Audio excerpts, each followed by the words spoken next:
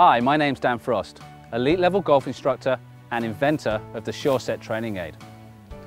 The reason I invented the Sure-Set is because the backswing can be a complicated move to master. And I believe it has three simple keys. We need hinge, forearm rotation, and shoulder turn.